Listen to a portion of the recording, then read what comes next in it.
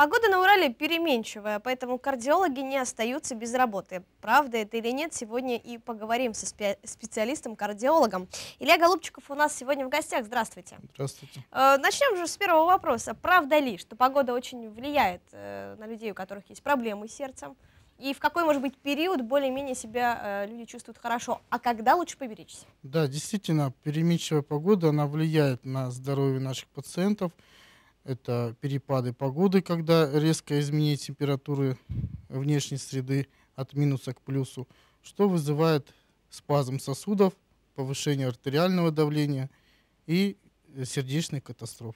Э, что делать в такой период? Как вот бороться это с погодой? Погода непредсказуема, ее мы не поменяем.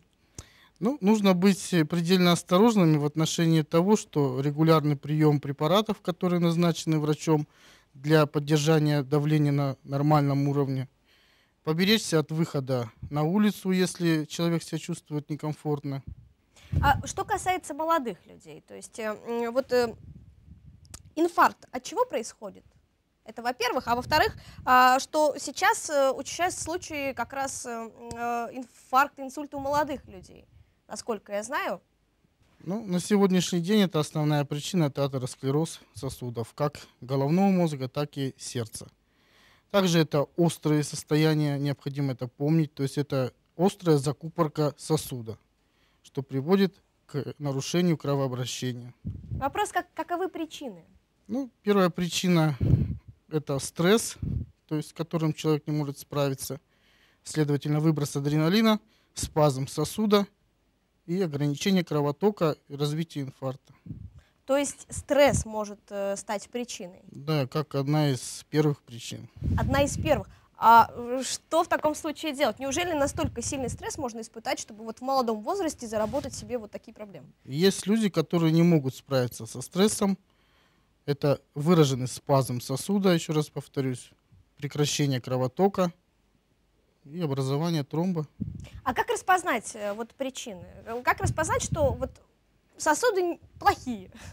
То есть внешние признаки, может быть, внутренние? У молодых это э, первая причина это боль в груди, за грудиной, давящая, при нагрузке обычно эти боли, а вот связаны с повышением давления – более волнообразные, то есть э, человека ограничивает себя физической активности, то есть снижается толерантность к нагрузке. Вот. Боль это отдает в руку, в спину, в шею. То есть вот первые признаки того, что коронарные сосуды нездоровы. А, и когда мы находим причины, э, куда же нам идти вот с этими проблемами? Ну, перв, первое обращение это пациенты, конечно же, в поликлинику, кардиологу по месту жительства. Ну, чаще всего это пациенты э, вызывают скорую помощь и уже сосудистой катастрофой приезжают в стационар. Сегодняшний день у нас в городе Нижнем Тагиле организовано две мощные службы. Это неврологическая служба на базе Демидовской больницы и кардиологическая служба на базе 4 городской больницы то есть куда доставляются пациенты с острыми нарушениями мозгового кровообращения и инфарктами, где оказывается высокая специализированная квалифицированная помощь. Ну, это когда уже произошли какие-то серьезные проблемы, да, мы вызываем скорую помощь, наверное, в крайнем случае. А ежели все-таки, когда люди наблюдают плохое самочувствие, да, можно ли а, прийти в качестве профилактики, можно ли прийти вот подлечиться? И вообще, можно ли вылечить эту как бы, проблему, болезнь, как это назвать? Можно ли улучшить состояние сосудов? Или все-таки мы получаем на всю жизнь какое-то хроническое заболевание? Нет. Ишемическая болезнь сердца – это хроническое заболевание. Профилактика развития инфаркта заключается в том, что это физическая активность. Пациенты должны э, бороться с гиподинамией. Как можно больше ходить, плавать, бегать.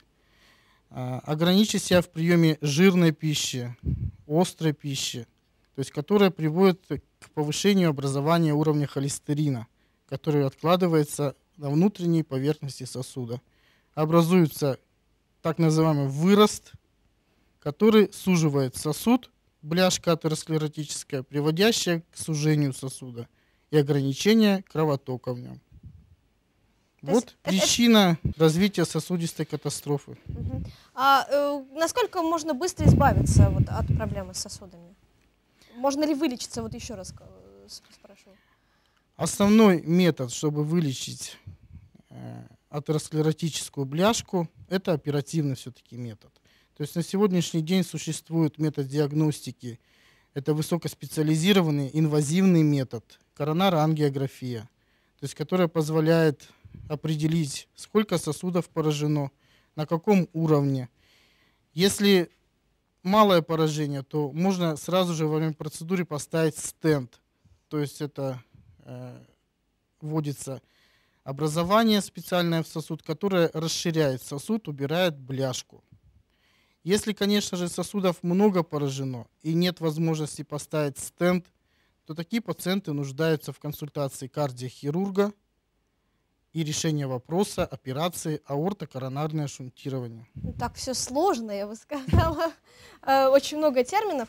Э, Вот, наверное, насущный вопрос. Как распознать начало, может быть, инсульта и инфаркта? Вот такой серьезный вопрос. Иногда просто время уходит. Да, конечно, на сегодняшний день существуют первые три часа, когда при развитии инсульта можно оказать помощь, растворить тромб, и чтобы человек вернулся к повседневной нормальной жизни. То есть обратить нужно внимание, если у пациентов появились речевые нарушения, слабость в конечностях одной стороны или слабость в одной конечности, головокружение, интенсивные головные боли, слабость. То есть вот эти симптомы, которые впервые возникли у больных, нужно незамедлительно вызывать скорую помощь. Ежели это возникли боли за грудиной, чувство удушья, страха, да, а, боли давящие, то это первые признаки инфаркта. Тем более, если впервые пациент заболел, нужно незамедлительно обращаться в скорую помощь. А в тот момент, когда человек вызывает скорую помощь, можно ли как-то помочь вот, больному? Что нужно дать? Ну, в первую очередь... Просто есть такое э, э, мнение, что нужно давать карвалол или э, э, аспирин. Вот. Вычитали мы. Прав- Правда ну вот или нет? э, давать аспирин это совершенно верно. Как при сердечной катастрофе, так и при катастрофе головного мозга. Э, Самое первое это ограничить двигательный режим, то есть пациента необходимо уложить. Если это боли в груди, то дать таблетку нитроглицерина под язык. Аспирин таблетку разжевать и вызывать скорую помощь. А, есть такое, что иногда а, боль в груди или вот как мы говорим, боль сердца, говорят, сердце болит, да, можно спутать с другими болями. И как, э, как понять, вот если не ходить к врачу, что вот сердце это болит или не сердце? Или, может быть, не знаю, может быть, о, поджелудочная или какие-то другие органы? Ну, совершенно верно.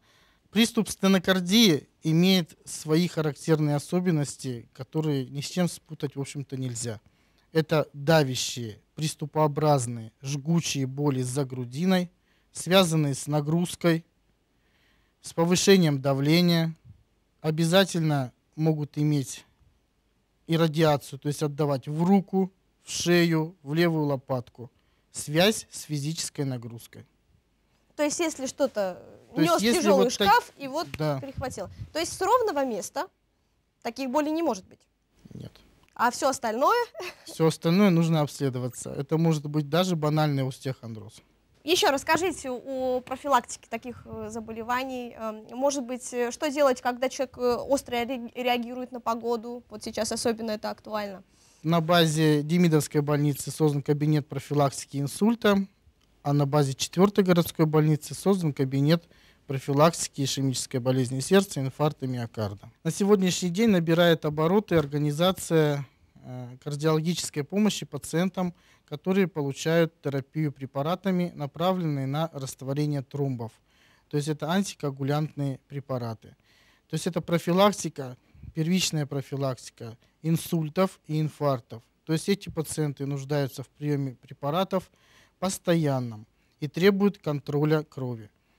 Вот. Эта идея была поддержана Министерством здравоохранения Свердловской области, э, главным врачом Демидовской больницы Овсяников Сергей Викторович, на базе которой будет организована эта служба.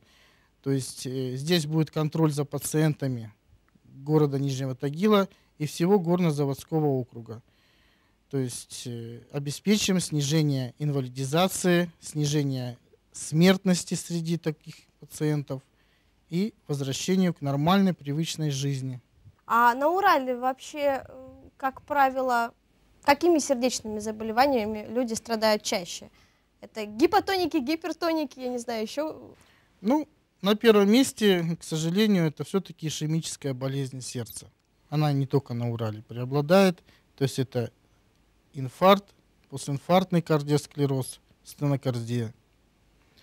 На второе место уходят инсульты, то есть заболевания, которые приводят к инвалидизации, первую очередь, работоспособного населения.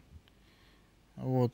Ну и гипертоническая болезнь, неправильно подобное лечение или неадекватные дозы, а также отсутствие приверженности к лечению наших пациентов приводит к развитию сосудистых катастроф. И любой гипотоник в будущем становится гипертоником.